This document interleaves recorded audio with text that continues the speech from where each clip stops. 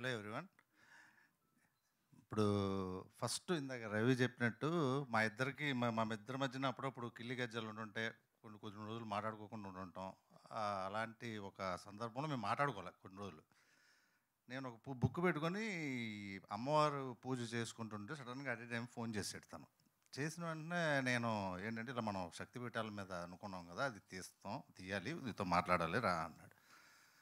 అంటే సర్ప్రైజ్గా వెళ్ళాను. వెళ్ళిన తర్వాత తను చెప్పాడు. చెప్పి ఇది కదా మనం ఇది ఇది చేయాలి అంటే ఒక గుడికి వెళ్ళి దర్శనం చేసుకొని రావడమే చాలా కష్టం. నేను వెళ్ళిన ఒక ఐదో ఆరో అప్పటికి వెళ్ళి ఉంటాను. అలాంటిది పద్దెనిమిది శక్తి పీఠాలు వెళ్ళి క్రూతో వెళ్ళి షూటింగ్ చేయాలి ఇది అంటే చాలా కష్టం. బట్ ఎలా జరుగుతుందో ఏంటో అనుకున్నాం. అప్పుడు ఎవరు ప్రొడ్యూస్ చేస్తున్నారు ఇదంటే విజయ్ చాడ గారని ఇది తను ఫ్రెండ్ ఇంకొక ఆయన అంకిత్ అని ఆయన వాళ్ళిద్దరు ప్రొడ్యూస్ చేస్తున్నారని చెప్పి. ఇది ఖర్చుతో కూడిన పని.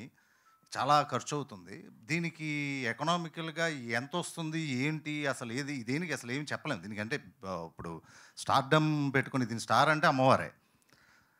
సో ఎలా చేస్తే అవుతుందా అనుకుంటే దానికి ధైర్యంగా వాళ్ళు ఇన్వెస్ట్ చేసి దీన్ని నడిపించి ఫస్ట్ చేసిన విజయ్ గారు అంకిత్ గారికి ఫస్ట్ ఆఫ్ ఆల్ నాకు ఇది చెప్పాలి. అండ్ తర్వాత మన కౌముది అక్కడ నుండి ఇది మొత్తం అంతా డిజైన్ చేసి మమ్మల్ని తీసుకెళ్ళి ఈ ఎయిటీన్ సెక్రటరీలు ఎలా అయితే కష్టం అనుకున్నాం ఆ కష్టాన్ని తెలియకుండా మమ్మల్ని అందరినీ తీసుకెళ్ళి బాగా అసలు చాలా ఈజీగా చేయగలిగే దర్శనాలు కావచ్చు షూటింగ్ అక్కడ స్పాట్లో గుడిలో దర్శనం చేయడమే కష్టం. అలాంటి షూట్ చేయడానికి చాలా అనుకూలంగా చేసినందుకు తనకి thank you so much so next thing మన యాక్టర్స్ సుబ్బరాజు ఎలాగో తను రవి చెప్పినట్టుగా చాలా ఇంపార్టెంట్ రోల్ ఇందులో. So Sanjay already polished actors వాళ్ళు సంజయ్ సమీర్ అండ్ ప్రేమణి వీళ్ళంతా. సో వాళ్ళందరూ కూడా చాలా బాగా చేశారు.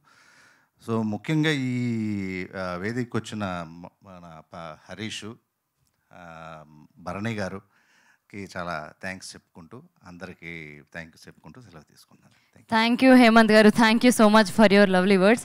And ఒక ప్రొడ్యూసర్ని ఎగ్జిక్యూటివ్